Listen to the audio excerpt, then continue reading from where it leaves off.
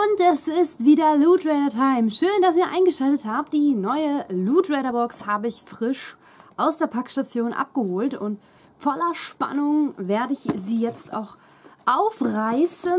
Ich habe während meiner zweiwöchigen Abwesenheit schon die Nachricht bekommen, die Loot Raider ist unterwegs und heute am Samstag ja, hat sie den Weg zu mir gefunden. Ich glaube, es ist die äh, Loot Raider Box für den Monat Juni.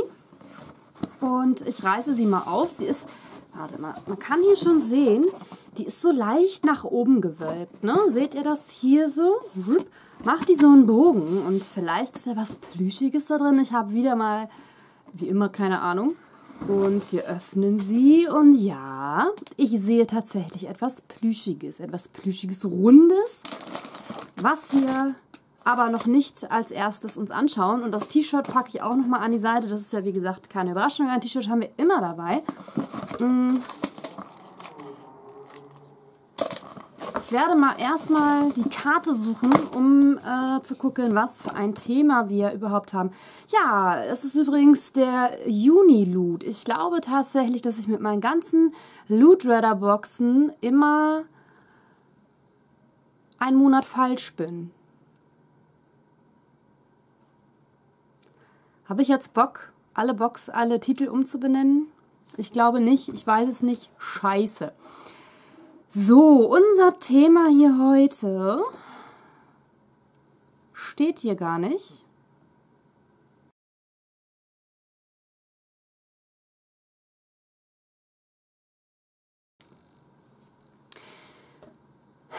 Nachdem ich jetzt hier stundenlang auf der Karte rumgesucht habe, habe ich das Motto dieser Box nicht entdecken können, aber wir schauen uns einfach mal an, was wir hier so drin haben. Und zwar fängt das an mit einem Quartett, einem Konsolenquartett. Ähm, da treten die wichtigsten Konsolen aus der, äh, der Geschichte der Videospiele, bla bla bla. Guckt mal.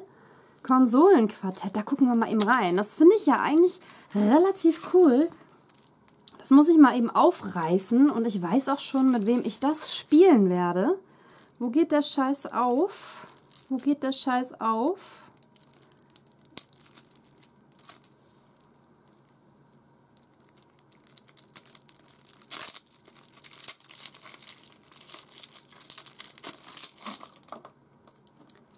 Oh, jetzt klebt der Rotz auch noch an meinem Finger, Mann. So, Konsolenquartett. Also, ja, geil. Das fängt dann zum Beispiel an, hier habe ich als erstes 1993 Panasonic 3DO. Ich halte euch die Karte mal hier rein. Oder Atari 2600, ganz viele Ataris dann Nintendo GameCube und was es hier alles gibt, PS2, Sega und allen Scheiß. Die Xbox ist natürlich auch am Start. Ja, cool. Also ich mag Quartetts und gerade auch so nerdige Quartetts. Finde ich super. Darüber freue ich mich auf jeden Fall schon mal. Dieses super Quartett hat einen Wert, das muss ich euch ja auch immer wieder verraten, von 11,90 Euro. Wow. Also so viel Geld hätte ich definitiv nicht ausgegeben, wenn ich es mir äh, gekauft hätte. So, dann haben wir als nächstes eine Beast Bomb. Strawberry. Popping Candies with Lollipop. Hier. Das werde ich jetzt vielleicht nicht ausprobieren. Ähm, was steht denn noch? Beast Bomb. Bist du bereit für eine Geschmacksexplosion der besonderen Art? Komm, weil ihr es seid, werden wir jetzt gemeinsam diese Geschmacksexplosion oh, genießen. Mal antesten. Ich habe doch hier irgendwo noch eigentlich eine Schere liegen gehabt. Hallo Schere. Sitze ich drauf? Ach, liegt vor mir. Ich schneide den ganzen Rotz jetzt mal auf. Einen Lollipop haben wir hier auch.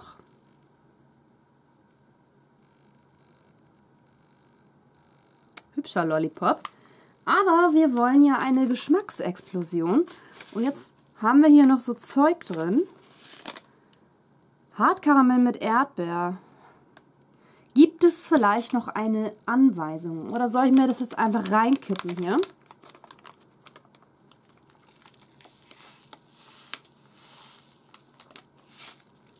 Mmh.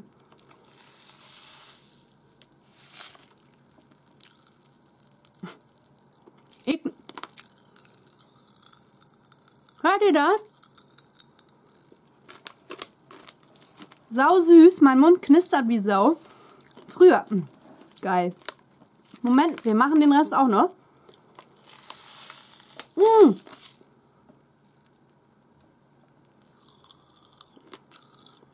Oh. Ich habe leider alles im Mund.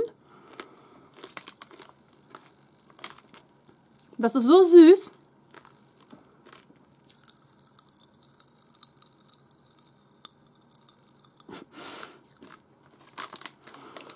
Aber es knistert wirklich toll. Es knistert ganz toll. Boah, jetzt habe ich, glaube ich, bald einen Zuckerschock. Ja. Zwei weitere. Kommen wir einfach zum nächsten Teil. Mm, und zwar ist es hier so eine Anstecknadel. Und diese Anstecknadel ähm, die Stelle als Hand des Königs wird immer wieder mal frei. Jetzt seid ihr an der Reihe mit dieser original mit dieser originalgetreuen Pin aus Metall. Das ist ein komisches Deutsch. Talk to the hand. Eine super Anstecknadel.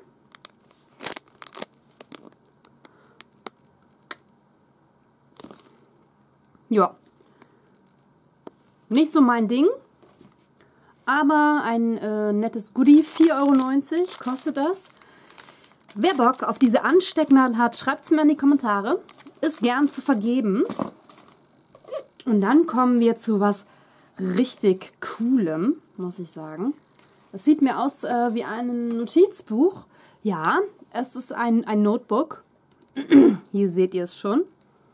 Und zwar, der offizielle Artikelname hat einen Untertitel. Choose your side. Lasst euch überraschen, was bei diesem, was bei unserem Superman Notizblock. Ah.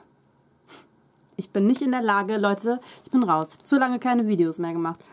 Lasst euch überraschen, was das bei unserem Superman Notizblock im Format A5 heißt. Bam! Von vorne, von hinten. Richtig cool. Ja, und hier sind äh, schöne leere Seiten mit äh, einem Mix aus einem Batman- und Superman-Symbol. Finde ich total geil. Also ich habe jetzt von diesen Notizbüchern echt schon ein paar. Weiß gar nicht, wie ich sie alle verwenden soll, aber irgendwas schreibe ich auf jeden Fall rein. Das gefällt mir sehr, sehr gut und kostet 8,90 Euro. Ja, das haben wir. Jetzt kommen wir noch zum plüschigen Teil. Das packe ich ja auch gleich mal aus. Es wird laut.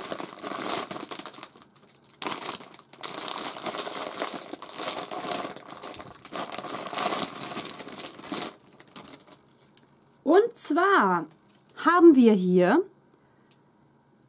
etwas, was nicht geeignet ist für Kinder unter drei Jahren, Freunde, darf ich euch vorstellen, das hier ist Pluto Plüsch. Pluto Plüsch. Ja, Pluto Plüsch. Süß. Uh, ein kleiner, niedlicher Pluto Plüsch. Pluto Plüsch kostet 17,90 Euro, Leute. 17,90 Euro für diesen plüschigen Pluto plüschiger Pluto. Also, unser liebster Ex-Planet im Maßstab 1 zu 17 Millionen. Plan Planetenstatus aberkannt, Kuschelstatus zuerkannt. Ja, mit dem kann ich jetzt auf jeden Fall zukünftig immer kuscheln. Und ähm, ja, kommen wir zum T-Shirt. Ein schwarzes T-Shirt gefällt mir wie immer gut. Also, was steht denn hier zu unserem T-Shirt? Und zwar Dragon Ball T-Shirt. Auf vielfachen Wunsch endlich wieder etwas von äh, Dragon Ball für euch. Ein tolles Shirt mit Motiv in Hammer Design. Wenn man sieben davon hat, wird ein altes T-Shirt wieder von alleine sauber. Das ist vielleicht auch ein Tipp für die, Tipp für die Waschfaulen unter euch. Wenn ihr sieben T-Shirts von der gleichen Sorte habt, dann wird eins von alleine wieder sauber. Das ist ein super Typ. Tipp! Verdammt, was ist los hier heute mit mir? Okay, ich zeige euch jetzt einfach das T-Shirt, um das Ganze hier jetzt zu beenden langsam mal mit meinen Sprachproblemen. Hier. Tadam. Das sieht auf jeden Fall total cool aus, finde ich. Bin jetzt zwar nicht unbedingt so ein Dragon Ball Fan, aber äh, das T-Shirt gefällt mir auf jeden Fall ganz gut und äh, ja, ihr lieben Freunde, das war's mit einer chaotischen Aufnahme, ein chaotisches Unboxing der Loot Redder Monat Juni, obwohl wir schon Juli haben, aber die wird ja mal am Ende des Monats ähm, verschickt und ich habe, glaube ich, alle Monate verpeilt, aber was soll's, ähm, pff, ist jetzt auch egal.